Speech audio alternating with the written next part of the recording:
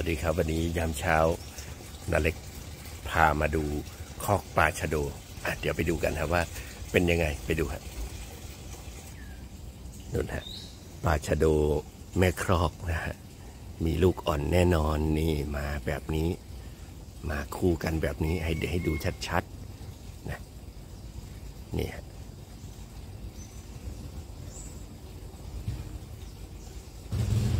ตัวผู้น่าจะออกสีดำๆตัวเล็กกว่าหน่อยหนึ่งนะตัวเมียตัวใหญ่โน่นโน่นเห็นไหมจะมีแขกมาเยือน แต่ว่าเขาจะไม่ยุ่งนะเขารู้ว่าปลาชะโดแม่คอกนะดุมากนะเขาก็จะผ่านไปเฉยๆนี่เนี่ย ตัวผู้ตัวสีดำๆนะตัวเมียตัวสีฟ้าฟ้าสว่างสว่างหน่อยเนี่ยเพราะตัวใหญ่กว่าเห็นไหมลูกจะอยู่ตรงปลายจมูกอะเล็กๆอะนะเนี่ยนะยุบยิบยุบยิบฮะดำๆอะเนี่ยเนี่ยนะนะเห็นไหม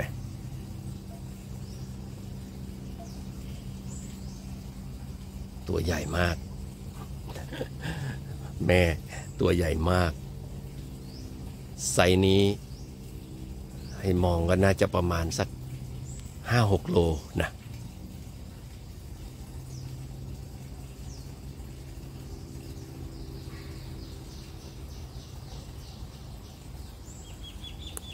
ดูฮะ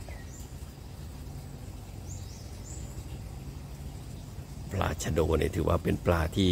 ห่วงลูกมากนะแล้วก็ดุมากในช่วงที่มีลูกเนี่ยนั้นใครเข้าใกล้เนี่ยต้องระวังนะสมัยก่อนถ้าตามแม่น้ำเวลาปลาชะโดวางไข่เขาจะมีติดป้ายระวังบอกเตือนบอกว่า ระวังปลาชะโด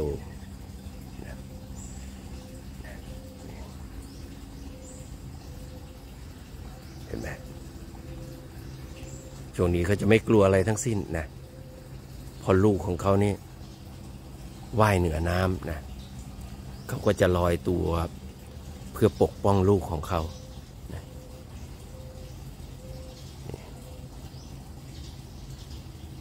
เห็นไหม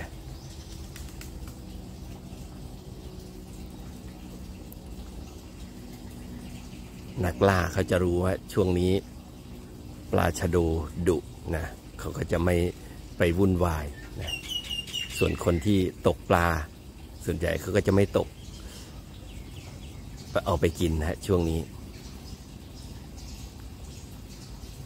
เพราะว่าเราก็ต้องนึกถึงหัวอกเขาหัวอกเราด้วยนะลูกต้องการพ่อแม่ป้องกันนะเพราะถ้าเกิดว่าไม่มีพ่อแม่อยู่เนี่ย เป็นเหยื่อหมดนะ เป็นเหยื่อให้กับปลาตัวอื่นนะนักล่าของที่นี่ก็คือปลาปลากรายนะปลาปลากรายนี่เยอะมากในที่นี่นะเขาก็จะตามปลาชะโดมา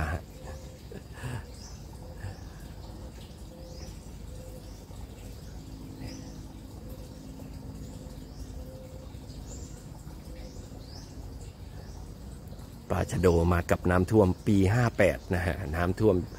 คลองบางไผ่แตกนะคลองไผ่แตกนะก็มีปลาชะโดเข้ามานี่แหละนะแล้วก็มาอยู่กันอย่างเพลิดเพลินเลยฮะนะบนพื้นที่หลายสิบไร่เหมือนบ่อน้ำหลายสิบไร่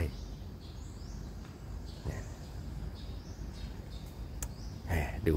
เพลินจริง ๆ ฮะนะ ดูแล้วมีความสุข ดูแล้วเพลิดเพลินดี ดูการว่ายน้ำของเขาเนี่ย